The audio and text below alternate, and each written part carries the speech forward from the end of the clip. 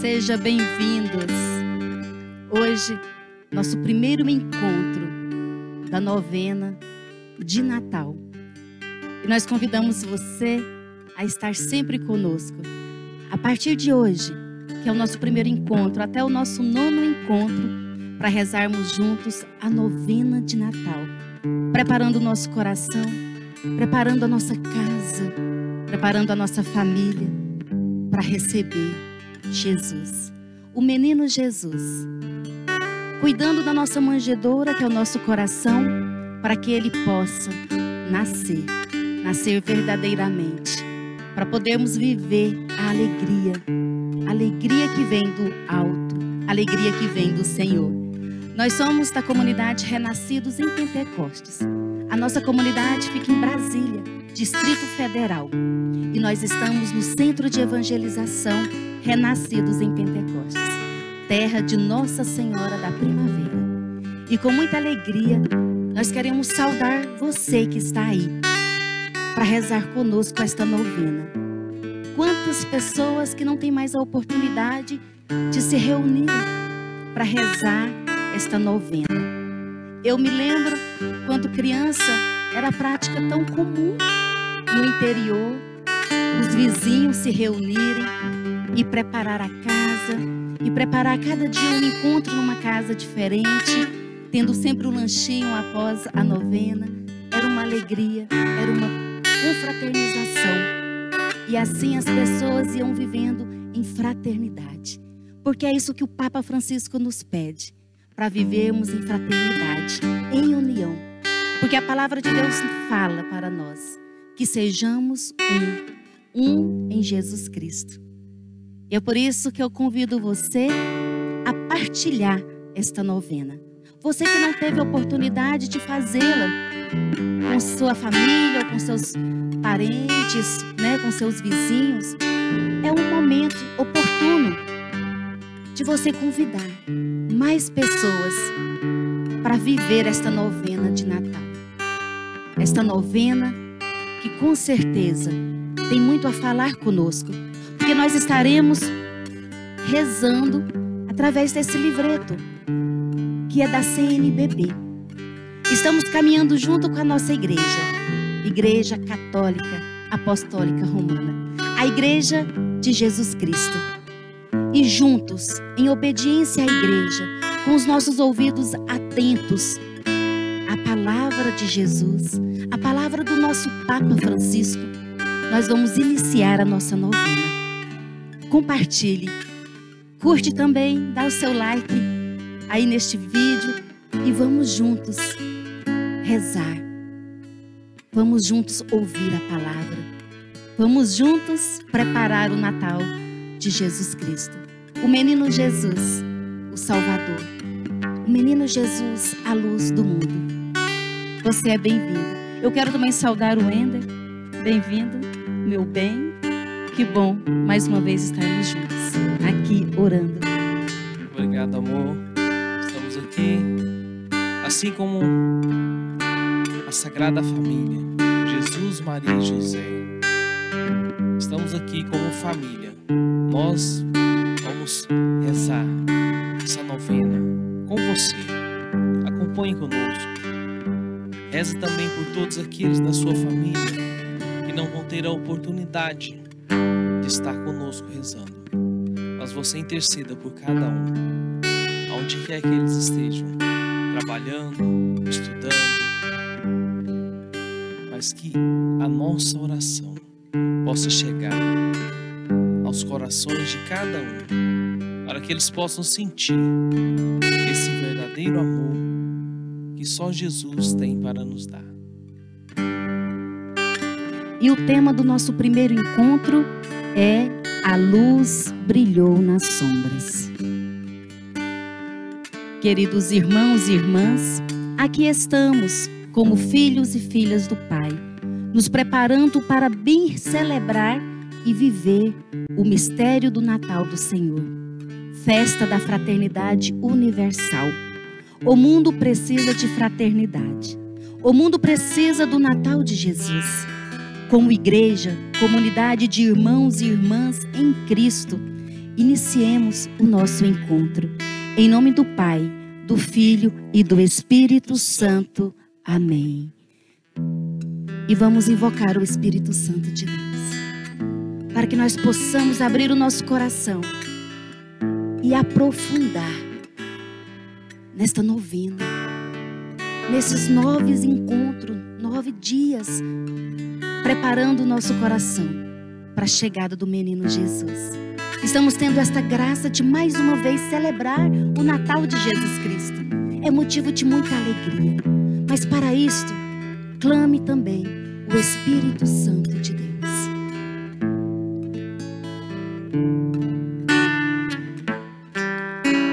Espírito. Vem Espírito Santo de Deus. Vem sobre todos nós. Vem sobre essa pessoa que nesse momento ora conosco. Esta pessoa que está com o coração aberto para preparar esta manjedoura para receber. Então vem Espírito Santo de Deus. Abrir o nosso coração. Fazer com que nós possamos renascer da água e do Espírito. Porque sozinhos nós não conseguimos, Senhor. Então mande o teu Espírito Santo. Que nesses nove dias que nós estamos preparando, vamos orar, rezar esta novena com o coração aberto, querendo amar, querendo ser aquilo que só tu sabes, o que nós precisamos.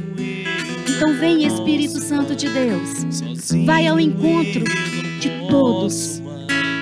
Vá, Senhor, envia o teu Espírito Santo, o sopro da vida, onde muitos já estão machucados, descrentes, mas que o sopro do teu Espírito vá ao encontro nesse momento. E possa dar alegria para rezarmos juntos esta novena. Porque é a novena, novena do Natal do nosso Senhor, do teu Natal. Queremos reavivar esta chama que há em nós. Vem, Espírito Santo. Cante também. Cante. Vai abrindo teu coração. Abre este sorriso. Sim, sorria. E deixa o Espírito Santo de Deus conduzir te dá a vontade de rezar esta novena. Porque o Espírito Santo nos dá perseverança. E hoje é somente o primeiro encontro. São nove encontros. E precisamos ser perseverantes.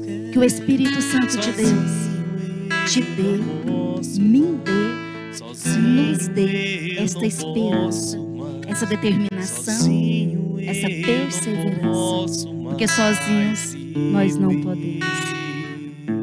A pandemia nos fez descobrir que estamos todos conectados, interligados, pois pertencemos todos a Deus. Vivemos momentos difíceis da história humana, mas não podemos perder a esperança. O Natal nos traz a luz que, vindo ao mundo, a todos ilumina. O Natal nos faz irmãos em Cristo, pois ele rompe com a lógica do salve-se quem puder e nos devolve a fraternidade perdida.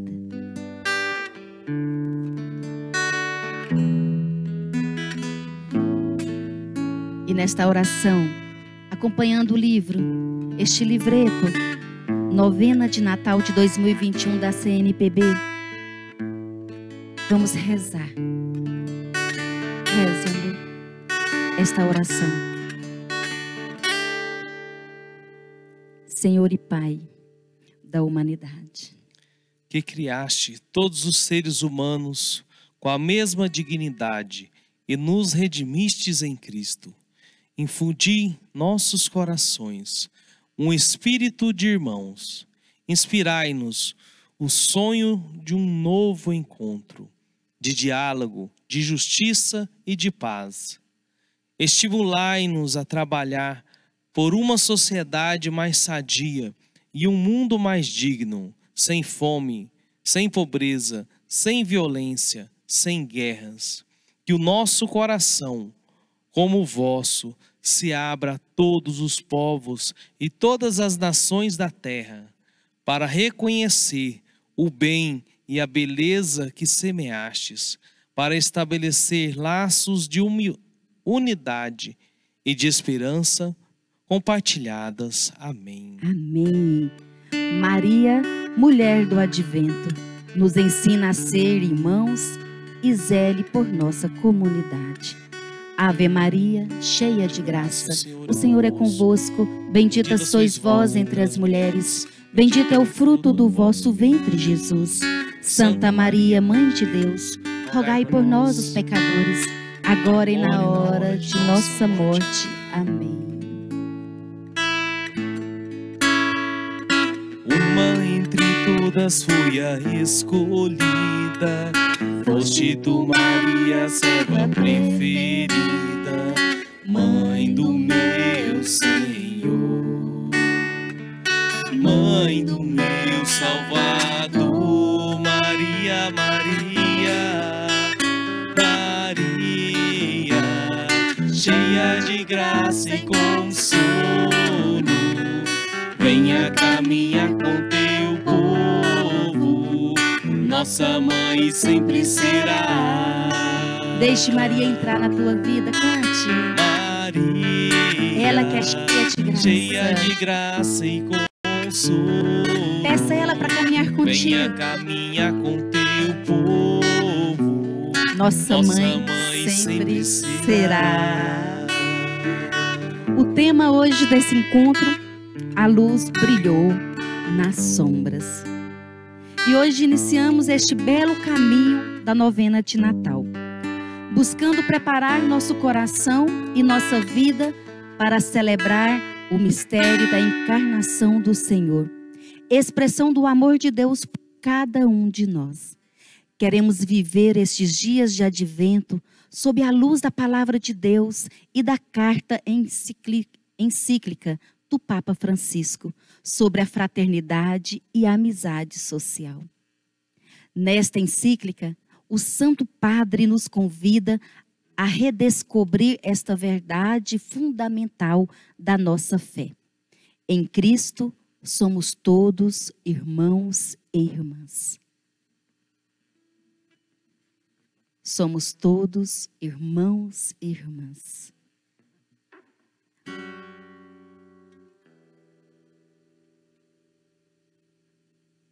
O Natal de Jesus é a festa da fraternidade, pois o menino de Belém, Deus se fez irmão, somos chamados, por esse tempo santo que vivemos, a sermos luzes que dissipam as sombras ao redor assim como Jesus, luz do mundo. Porque a luz brilhou nas sombras da pobreza e da morte. Papa Francisco nos pede, nos fala hoje, nesse primeiro encontro, que podemos reconhecer que alimentamos-nos com sonhos de esplendor e grandeza e acabamos por comer distração, fechamento e solidão empanturramos-nos de conexões e perdemos o gosto da fraternidade. Buscamos o resultado rápido e seguro e nos encontramos oprimidos pela impaciência e a ansiedade. Prisioneiros da virtualidade, perdemos o gosto e o sabor da realidade. A tribulação, a incerteza, o medo e a consciência dos próprios limites que a pandemia despertou fazem ressoar o apelo a repensar os nossos estilos de vida, as nossas relações, a organização das nossas sociedades e, sobretudo, o sentido da nossa existência. Papa Francisco nos leva a pensar nessas palavras que ele deixa para nós nesse primeiro encontro a, importante, a importância de vivermos em união, em fraternidade, junto com as pessoas, o contato físico, o olhar, o abraço. Coisas que a pandemia, houve- a pandemia fez com que nós tivéssemos que nos afastar. E nesse afastamento, muitas coisas entraram no lugar. As nossas conversas pelo WhatsApp, onde poucos usam áudio, mas são as escritas. A internet, o Facebook, as redes sociais em geral. Tudo se torna mais fácil quando conversamos virtualmente. E ao longo desses dois anos de pandemia, Papa Francisco, hoje, nesse primeiro encontro da novena de Natal, ele nos pede atenção. Porque nós estamos, muitas vezes, alimentando da tecnologia, esquecendo da fraternidade. A tecnologia nos afasta da fraternidade. Devemos ter um equilíbrio para continuarmos sadios. E é isso que o Papa Francisco nos pede. E faz com que nós possamos pensar nesse primeiro encontro, começando a, a novena de Natal assim, sabendo que Jesus é a luz do mundo e nós também precisamos ser a luz. E muitas vezes essa luz nós temos que deixar radiar. E nem sempre através de uma tela de celular, uma tela de computador, você consegue irradiar.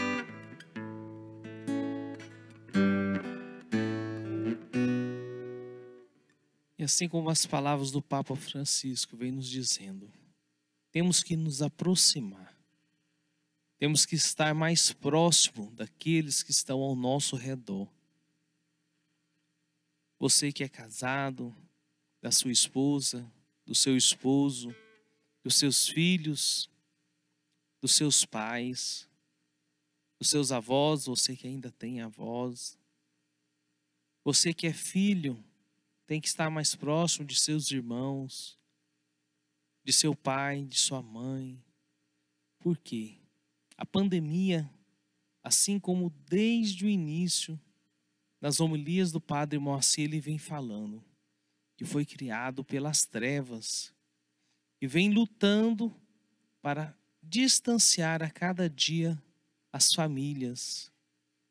E o que mais nós fazemos em nossas reuniões de família? Nos alegramos, nos abraçamos, nos confraternizamos. E com essa pandemia, tudo foi nos orientado. Fique em casa, fique distante, não abrace, não não sinta o calor humano. Mas nós precisamos deste calor humano. Não estou dizendo que você não vai mais seguir os protocolos de segurança. Ainda estamos em tempo de pandemia. Mas entre os nossos, entre nossas casas, eu posso muito bem estar abraçando a Oliana, que é minha esposa, abraçando as nossas filhas, nós temos duas filhas, Podemos sim abraçar as nossas filhas. Eu posso sim abraçar a minha mãe, minhas irmãs, meus sobrinhos, meus afilhados, porque nós estamos nos cuidando. E amor também é isso, é cuidar do próximo, mas não é fugir. Porque muitas pessoas estão se perdendo pela dor do vazio. E Papa Francisco, como nosso líder, ele é o nosso líder, guiado por Deus, vem com essas palavras sábias para dizer: se achegue mais, Jesus está chegando. E olha só, Wender, e nesse texto do Papa Francisco, olha só o que ele fala, né? Hoje podemos reconhecer e alimentamos-nos com sonhos de esplendor e grandeza. Isso é verdade. Nós sonhamos, todos nós temos sonhos. E sonhos altos, sonhos grandes, grandiosos. Mas acabamos por comer distração, fechamento e solidão. Porque nós não nos abrimos. Nós não partilhamos. Muitas vezes sonhamos sozinhos. E o sonho é para ser compartilhado. O sonho do outro é para ser compartilhado.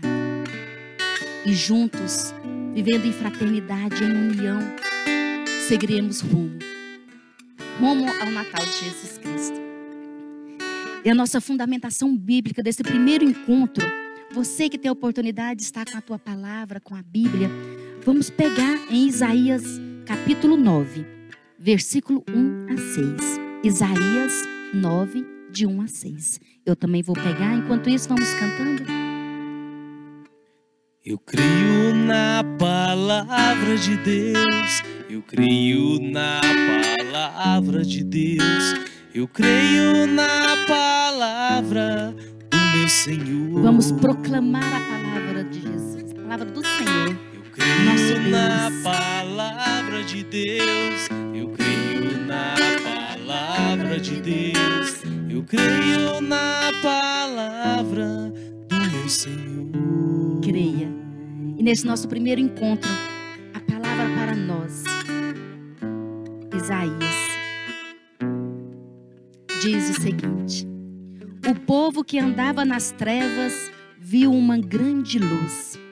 Sobre aqueles que habitavam uma região tenebrosa, resplandeceu uma luz.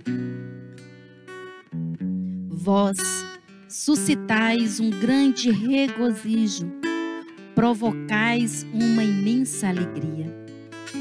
Rejubilam-se diante de vós como na alegria da colheita, como exultam na partilha dos despojos. Porque o jugo que pesava sobre ele, a coleira de seu ombro e a vara do feitor, vós os quebrastes como no dia de Madiã. Porque todo calçado que se traz na batalha e todo manto manchado de sangue serão lançados ao fogo e se tornarão presa das chamas. Porque um menino nos nasceu. Porque um menino nos nasceu, um filho nos foi dado.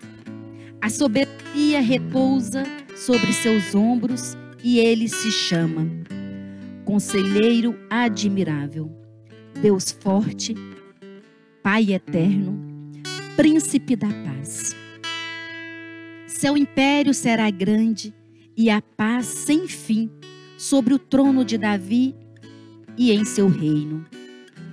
Ele o firmará e manterá pelo direito e pela justiça, desde agora e para sempre. Eis o que fará o zelo do Senhor dos exércitos. Palavras do Senhor. Graças a Deus. E com essa palavra, a luz, a luz que resplandece. Nesse nosso primeiro encontro, essa profecia de Isaías vem nos ensinar nos falar que todo mal, que toda corrente que nos amarra, que nos prende, é quebrada diante desta luz. E esta luz é esse menino que vem, menino Jesus. E pre precisamos preparar, estarmos diferentes para receber e celebrar esse dia tão especial para nós o dia da vinda do nosso Senhor ao mundo, pela vontade de Deus, por amor a todos nós. Ele nasceu. Nasceu por mim, nasceu por você. E ele veio e não tinha nem lugar para ele nascer. E não tendo lugar para ele nascer, ele sendo rei,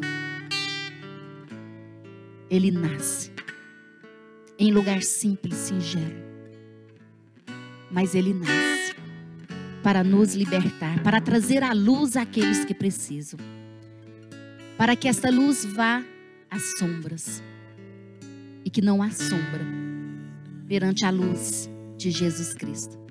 E nós precisamos, precisamos ser luz, precisamos caminhar com Jesus Cristo, espelhar deixar que Jesus espelhe em nós.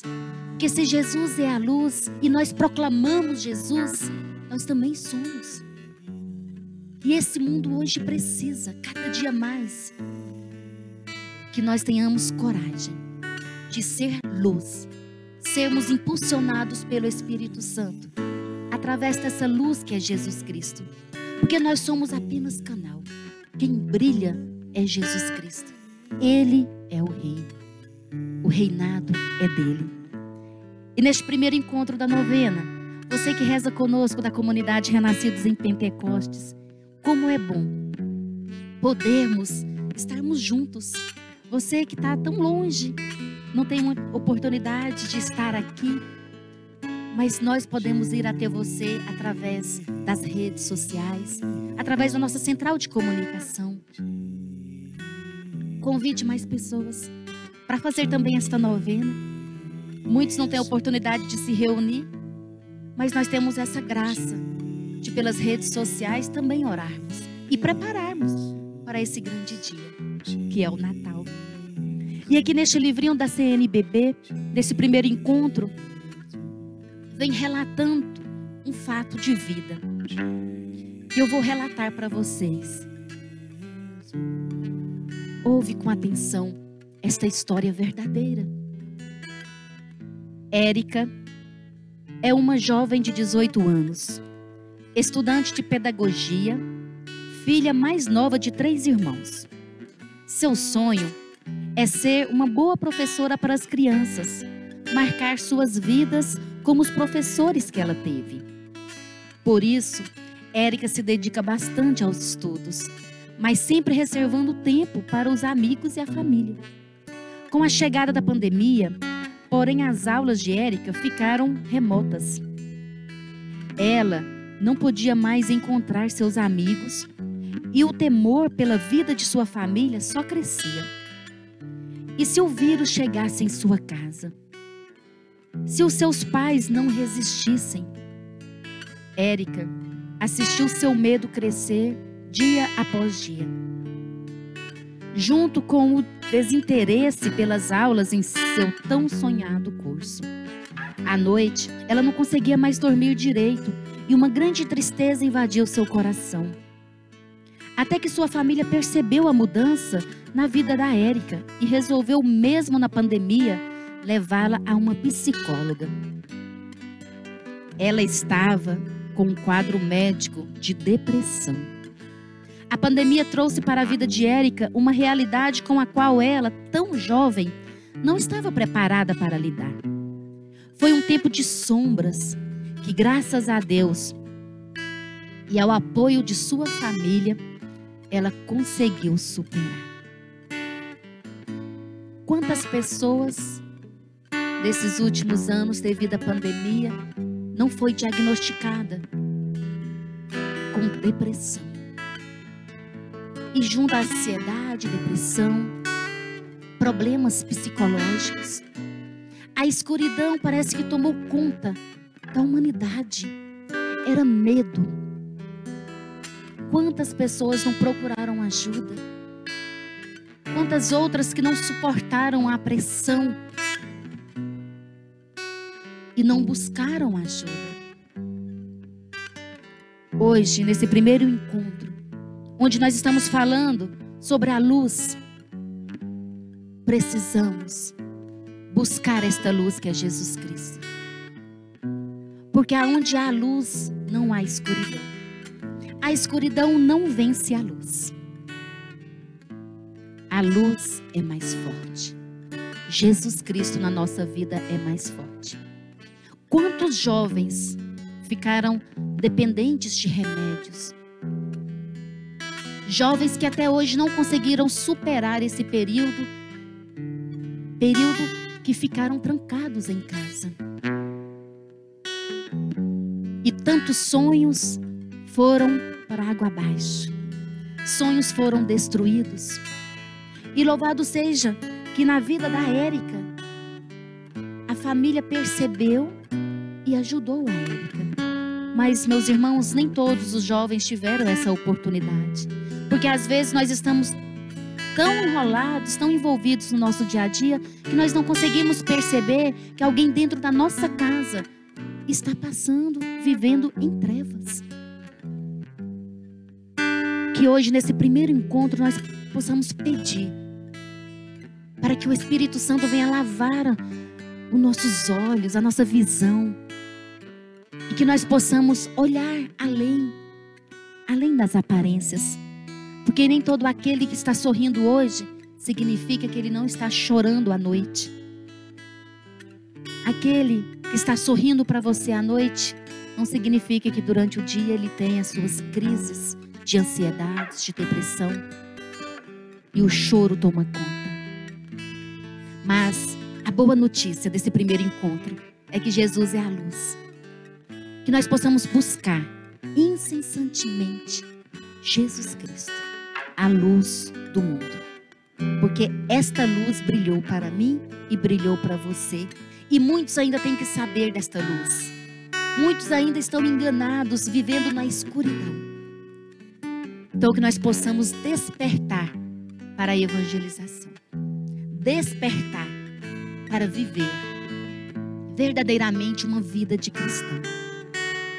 E aqui para finalizar, para ir para o finalzinho desse nosso primeiro encontro da novena, eu quero convidar você a rezar conosco. A resposta a cada invocação é simples. Senhor, sede luz em nossas sombras. Senhor, Sede luz em nossas sombras. É uma resposta simples, mas que através da nossa invocação, do nosso pedido, o Senhor nos atende. Qual é a sua sombra? Em qual sombra você está? Qual é a sombra que está te perseguindo? Peça com fé e rezamos juntos com a palavra. Porque neste advento nós temos que pedir ao Senhor esta graça, que Ele seja luz em nossas sombras, para que vejamos uma grande luz. Senhor, sede luz em nossas sombras, para que se multiplique a alegria.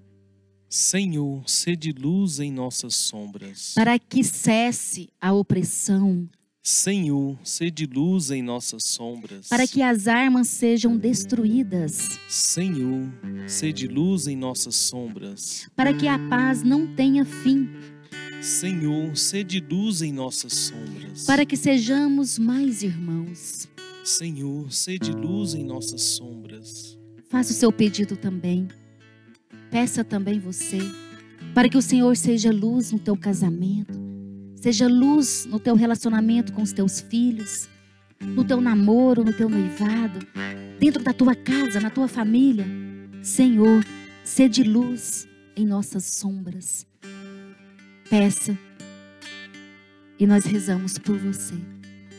Que o Senhor sede luz nas tuas sombras.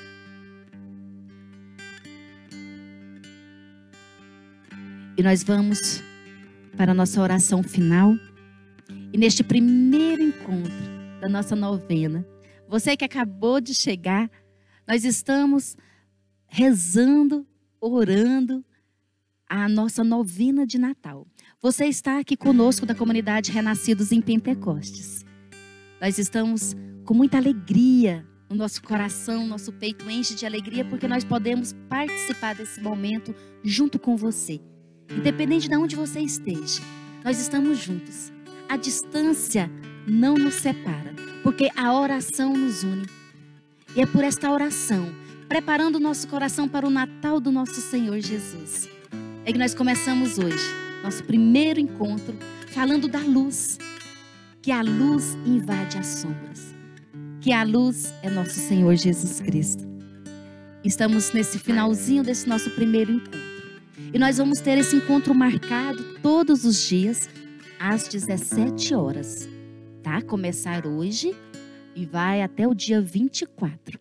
Nós só não vamos ter esse encontro no domingo, mas no restante dos dias, às 17 horas, e nós contamos com vocês. E pedimos que o Espírito Santo nos dê essa perseverança para juntos fazermos esta novena. Principalmente você que gosta das novenas e que não teve oportunidade este ano de rezar. Então reze conosco. Oportunidade está tendo agora, junto conosco da comunidade. Queridos irmãos e irmãs, neste Natal, sonhemos com Deus e com o Papa Francisco uma única humanidade. Como caminhantes da mesma carne humana, como filhos dessa mesma terra que nos abriga a todos, cada qual com a riqueza da sua fé ou das suas convicções, cada qual com a própria voz, mas todos irmãos. Com gratidão, louvemos a Deus pelas bênçãos deste nosso encontro feliz e fraterno. Deus nosso, Trindade de amor, a partir da poderosa comunhão da vossa intimidade divina, derramai no meio de nós o rio do amor fraterno. Dai-nos o amor que transparecia nos gestos de Jesus, na sua família de Nazaré e na primeira comunidade cristã.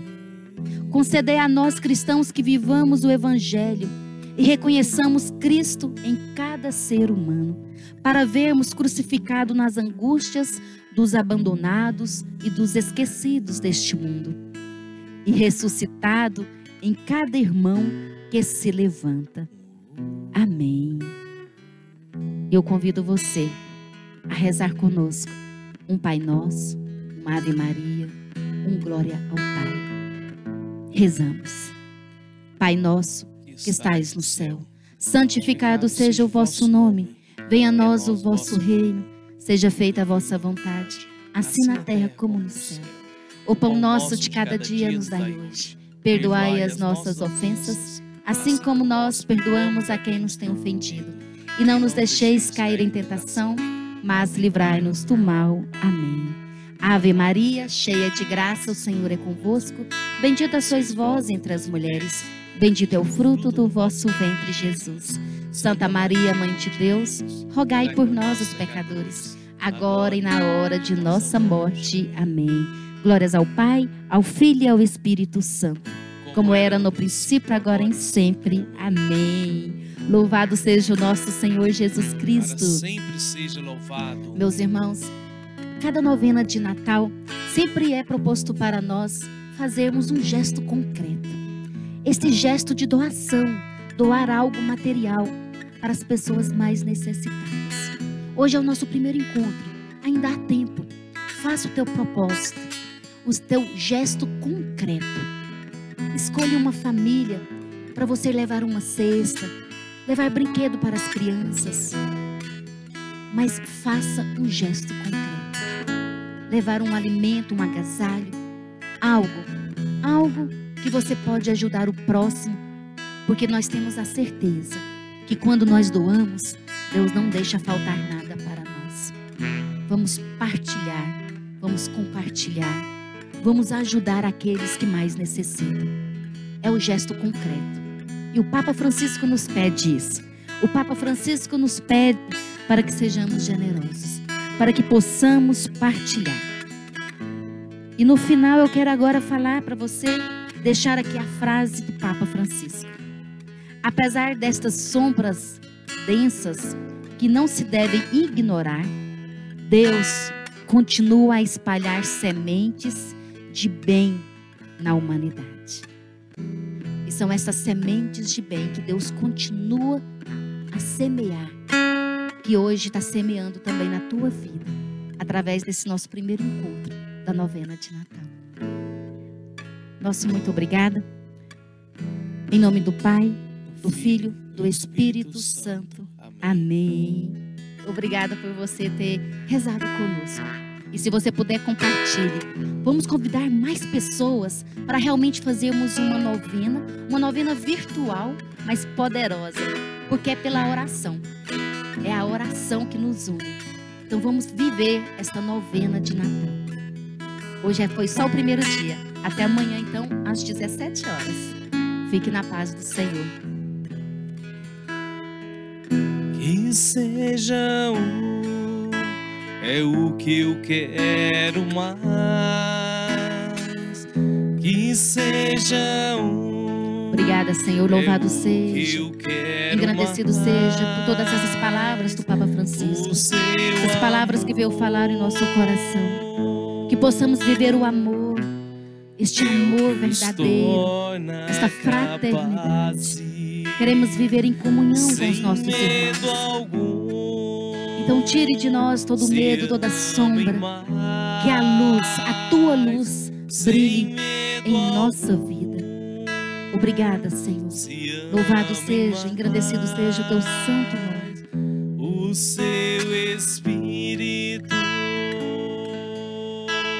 É quem age e faz. é quem age e faz Que sejamos um, que seja um um em Cristo é o Jesus. que eu quero mais É o que eu quero mais, que Senhor.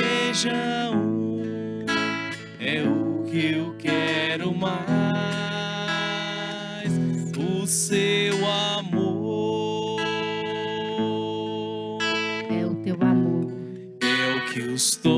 torna capazes, sem medo algum, Sem medo se algum. amem mais, sem medo algum, se amem mais, o seu espírito é quem age fire.